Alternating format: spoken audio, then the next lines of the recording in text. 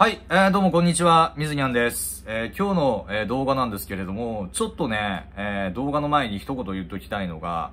あの、動画撮る前に、えシャワー浴びてきて、まだ、え髪の毛を、え乾かしてません。なんで、ちょっと髪の毛がね、ウェッティーな、え感じしてるんですけど、これ別になんかあの、油切ってるとかじゃないんで、まあそこのところはね、ちょっとご了承ください。で、まあ本日のね、えー動画、まあ久しぶりにね、ちょっとよりひとくんについて話をしようと思ったんですよ。で、なんで思ったかっていうとね、実はちょっと久しぶりによりひとくんの動画を見たんだよ。で、よりひとくんのチャンネルをぐーって見ていったら、なんか2ヶ月前に収益化停止になったっていう動画があったんだよね。で、なんでだろうとか思ったんだよ。で、まあやっぱよりひとくんって、で、僕よりもチャンネル登録者数多いけど、まあ僕のね、イメージだと、いじめ系 YouTuber。自分に言い返してこなかったりとか、自分よりも弱い相手を、なんか動画で吊るし上げて、で、みんなで笑い物にしてるっていうイメージがあって、まあちょっと昔からね、まあ気に食わないところもまああったんだよね。で、まあなんでね、収益化が停止されたのかなって、まあ思いきや、まあちょっと、まあこれ僕の憶測になるんだけど、まあその以前さ、えーバズに、まあさくらちゃんと、まあいう、まあ女の子の YouTuber がいて、で、まあその子がいじめをしたんじゃないかっていう疑惑の動画を、まあより人が、まあ延々と上げ続けたじゃん。で、まあ多分ね、えーそれが、まあきっかけなんじゃないかなと、まあ思ってる。まあそれ以前にまあより人、結構ね、えーやばい動画いろいろ上げてたじゃないですか。で、まあそれもね、こう、より人自身、まあ再生回数稼ぎのために、まあそういうなんだろうな、過激な動画とか上げてて、まあそれも、えー多分アウトで、そう、累積がこう積み重なっていって、まあ最終的に YouTube の運営が、より人のチャンネルの動画には広告をつけないっていう判断を下したんだと思う。ただ、まあその、正直ね、まあ僕は、あの、より人自身のチャンネルが収益化停止なのか。で、それとも、より人のチャンネルに紐づいている、まあ Google AdSense。で、僕ら YouTuber は、YouTube から直接お金をもらうんじゃなくて、Google AdSense っていう、えシステムをそう経由してお金をもらうんだよね。だから、まあ、その Google AdSense のアカウントが、えーアウトになってる可能性も、まあ、あるんだよ。で、まあ、ちょっと確認をしてみると、まあ、より人、そのね、えーメインチャンネルの収益化が停止された後、サブチャンネルに動画を上げ続けてたんだけど、そう、サブチャンネルの更新がぴったり、まあ、やんでまたメインにね、動画上げ始めてるんだよ。で、多分サブチャンネルの方も収益化停止になってるってことは、まあ多分アドセンスの方がバンになってる可能性も、まああるかなという感じ。で、ぶっちゃけね、まあそのより人の動画の何がいけなかったのかって言ったら、まあ一番はね、まあ権利侵害性と、あとは、まあ結構その過激な物言いみたいなところあるよね。で、まあ結構 YouTube の運営っていうのは、まあその個人攻撃の、えー中でも一番ね、ちょっとね、えー気にしてる部分っていうのがあって、まああの、それは何かっていうと、過度な人格批判のところね。ここ結構ね、まあその、YouTube の運営が、まあ気にしてるところっちゃ気にしてるところで、で、まあそれをちょっとやりすぎたりとかすると、あ、ちょっとチャンネルに収益をつけるのをやめようみたいな、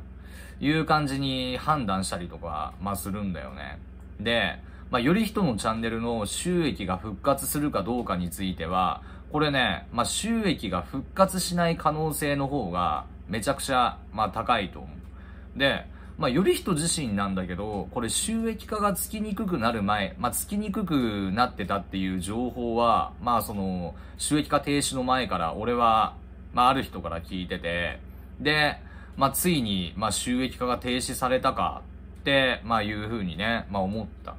で、まあ、Google っていうか、まあ、YouTube 自体って、まあ、まずその AI で、えー判断をして、で、えー AI の判断に不服であれば YouTuber 側はその判断おかしいですよって言って申し立てて、で、えー人の目で見てみて、政府だったら、まあその、警告とか、あと、まあアウトがね、まあ取り消されるわけですよ。で、まあ、より人の場合はね、まあ、ストライクを多分過去に食らったことがあるはずだから、まあ、その積み重ねっていう可能性も、まあ、結構高いんだろうなっていうふうに思ってます。まあ、なんで、まあ、その、より人自身さ、まあ、なんだかんだ言って、まあ、収益化停止されて、多分メンタル随分と今やられてると思うんだよね。で、まあ、メンタルをやられていて、で、まあ、そこで、まあね、えー視聴者からすれば、まあそのより人の昔みたいな、そのキレキレで、まあ人の悪口言ったりとか、するような動画が好きだった人が、まあちょっとね、今より人の動画から離れていってるのかなっていう気がする。で、まあより人の動画ってなんだかんだ言って、まあ過激な動画だったりとか、まあしたじゃん。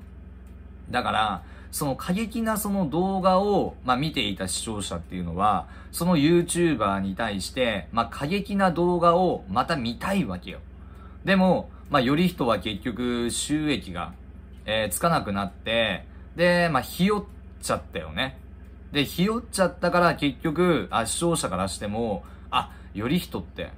なんか収益化外れてから、すっげえ守りに入ってんじゃんっていう風になって、まあ、より人の動画を、こう、あんまり見なくなっちゃったんじゃないかなって、いう風にね、えー僕は、えー思いました。だから、まあ、その、より人自身が、まあ、こっからね、じゃあどうやって復活をするかって言ったら、まあ、それは、もう収益を捨てるしかないと思うの。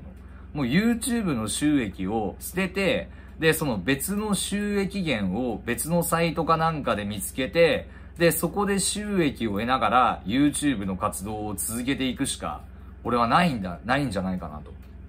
いうふうにね、まあ思います。まあなんだかんだね、やっぱ YouTuber っていうのはさ、まあその YouTube 一本で生活をしてたりとかする人もいるし、で、まあ副業の一環で YouTube をやってる人もいるし、あとは、まあ YouTube でね、そう自分の、えーブランドみたいなのを築いて、まあそこからね、えーグッズとか、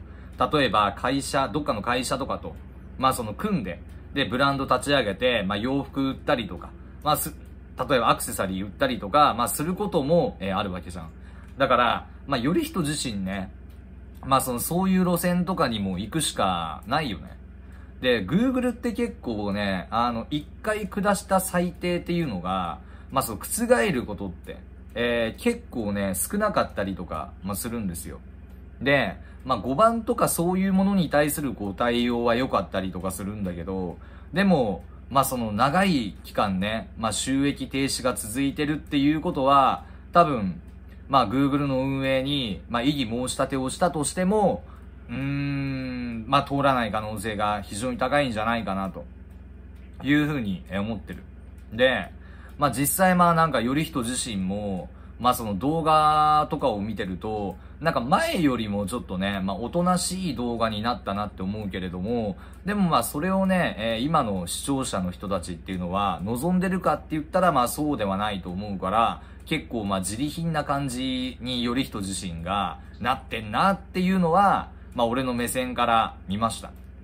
で、まあ僕自身としてはね、じゃあ今後どうしていくかって言われたら、まあ僕は僕でまたね、えーキレキレな動画をね、えー作りたいと思うし、まあバンバンね、えー人の悪口を言っていきたいと思ってますということで、まあ今日の、えー動画なんですけれども、まあより人がね、え収益化停止、えされてから、すんげえ勢い落ちたねっていうような、え動画を、え作りました。ということで、もしね、この動画を見ていいと思う方は、グッドボタン、そしてチャンネル登録をぜひよろしくお願いします。ということで、以上、みずにゃんでした。じゃあねー